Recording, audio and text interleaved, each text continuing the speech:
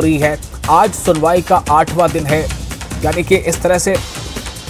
आज जो है वो तीसरे हफ़्ते में समाप्त चली गई है। अब तक जितने भी याचिकाएँ इस 370 को निरस्त किए जाने के खिलाफ दायर की गई हैं, उन पर ही एक एक करके उनके वकील जो है अपनी दलीलें रख रहे हैं। हमारे साथ वक्त मौजूद हैं सुशील, हमारे संवाददाता दिल्ली से। सुशील, आज का दिन कितना अहम है? सुनवाई की प्रक्रिया में आज क्या कुछ होना है?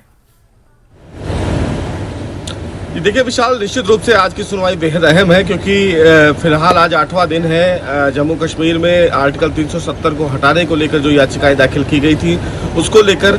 जो बड़े वकील हैं अगर नेशनल कॉन्फ्रेंस की बात करें महबूबा मुफ्ती के पार्टी की बात करें या और जो इस मामले में पक्षकार हैं मुजफ्फर शाह की बात करें इन तमाम लोगों की तरफ़ से दलीलें फ़िलहाल कोर्ट में रखी गई हैं। उनकी तरफ़ से सीधे तौर पर केंद्र सरकार के द्वारा लिए गए फैसले का विरोध किया गया है और संवैधानिक पहलुओं को विशाल समझाते हुए सुप्रीम कोर्ट को ये कन्विंस करने की कोशिश की जा रही है कि कैसे फ़िलहाल केंद्र सरकार के पास ऐसा कोई सीधा अधिकार नहीं है यानी कि सीधे तौर पर विशाल कहें तो संसद के पास सीधा अधिकार नहीं है कि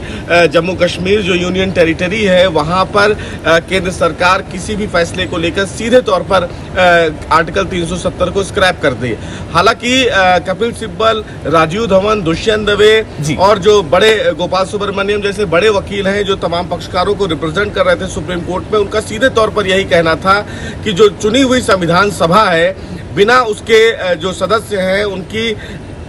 अनुमति के बिना राष्ट्रपति बाध्य नहीं है और राष्ट्रपति कोई भी फ़िलहाल नोटिफिकेशन नहीं ला सकते हैं जब तक वहाँ पर चुनी हुई जो संविधान सभा के सदस्य हैं भले ही वो अस्थाई अस्थायी रूप से भंग हो गई हो, लेकिन जब तक दूसरी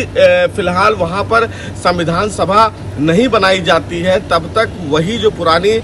स्थायी संविधान सभा होगी, वही इंसिस्ट करती है, वही और उसी के सदस्यों की बात मानी जाएगी। जी।